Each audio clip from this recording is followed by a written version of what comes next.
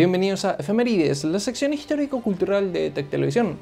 El día de hoy presentamos el 25 de junio, pero no de hoy sino del año 1530 en la ciudad de Augsburgo, por aquel entonces perteneciente al Sacro Imperio Romano Germánico. Y es que es en un día como hoy cuando se presenta ante el emperador Carlos V en la dieta parlamentaria la llamada Confesión de Augsburgo,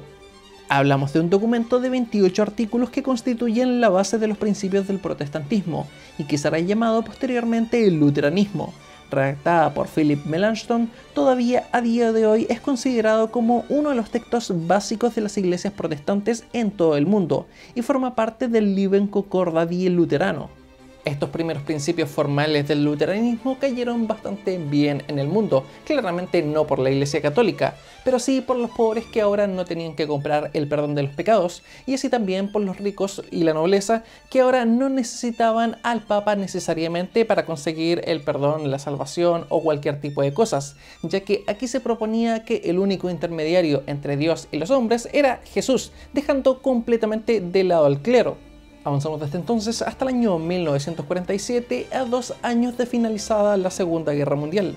ya que es también en un día como hoy cuando se publica el diario de Ana Frank.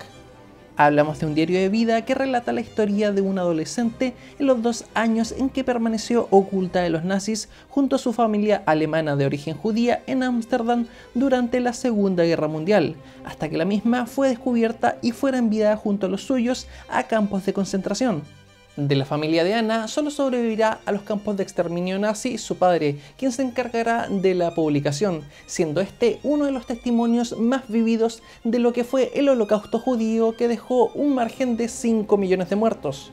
Avanzamos desde entonces hasta el año 1950, ya que es también en un día como hoy cuando las tropas norcoreanas que componen un ejército de 100.000 hombres traspasan el paralelo 38 e invaden Corea del Sur.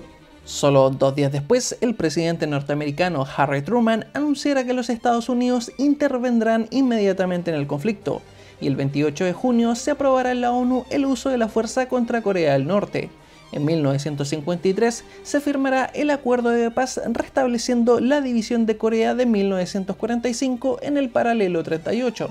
El conflicto dejará un total de bajas para Naciones Unidas de 500.000 soldados, mientras que para Norcorea será de 1.500.000.